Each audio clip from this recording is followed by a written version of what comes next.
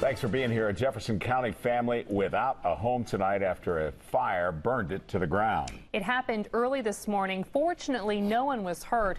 Deven Clarke spoke with a volunteer firefighter who helped put the flames out. Deven?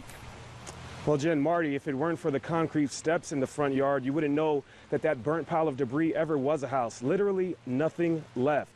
But the firefighter I spoke to this morning said that if it weren't for smoke detectors, things could have been a whole lot worse. Before 2 o'clock Monday morning, Falls Creek volunteer firefighters say these charred remains on Sandstone Road were a two story home. We're told the couple and their two young children who lived here moved in just four years ago. But this morning, they stood outside as it went up in flames. It was just a big glow in the sky.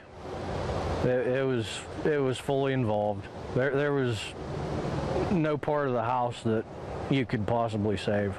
No one was hurt, and Falls Creek First Assistant Fire Chief Wes Burkett says it's because the family had smoke detectors in the home. The homeowner said that uh, his wife woke up, heard a noise. Uh, his hus- her husband got up to check to see what it was and said that was a smoke detector going off. Investigators believe the fire started in the garage. You can barely make out the two vehicles left behind. As for what caused it, Still kind of undetermined at this time. Uh, we have a few points that we're looking into, but uh, nothing definite right now. what is certain, Burkett says, is that a smoke detector is something everyone should own.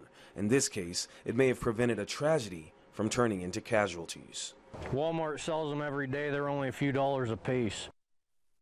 Again, the cause of the fire is still under investigation, but investigators told me that they don't think that it's suspicious. As for the victims, I'm told they're staying with family. Reporting live, Deven Clarke, 6 News.